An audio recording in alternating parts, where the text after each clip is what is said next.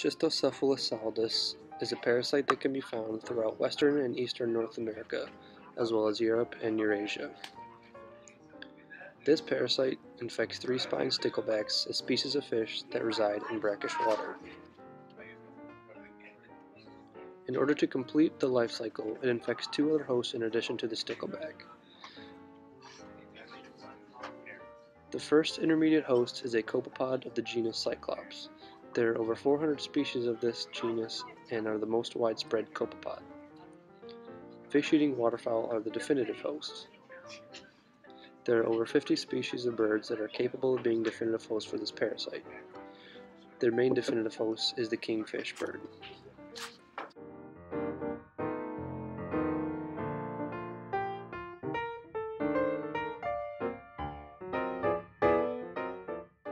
To begin its journey, an already infected bird deposits feces that contain the eggs of the parasite into the water as their cyst stage.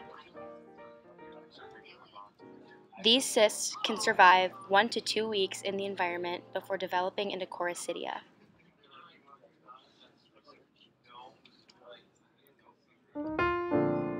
These choroncidium travel throughout the environment before becoming consumed by the first intermediate host, the copepod. Once the copepod becomes infected, the choroncidium matures inside the infected individual into a procercoid, a juvenile stage of the infective larvae.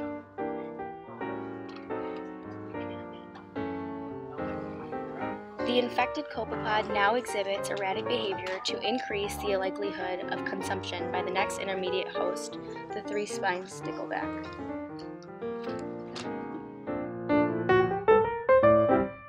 Once the stickleback encounters the copepod, the fish consumes both the copepod and the procercoid within it.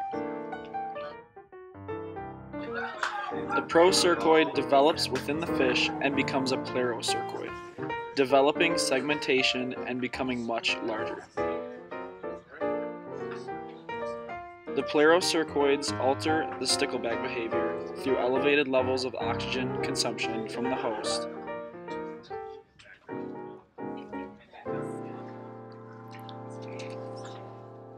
This forces the host to seek surface waters with higher dissolved oxygen concentrations.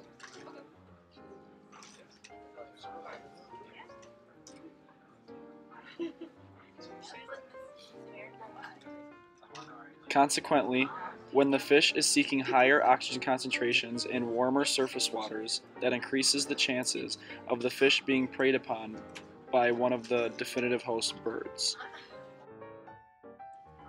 Once the parasite has finally made its way into the definitive host, the plerocercoid once again matures, this time into an egg-producing reproductive adult.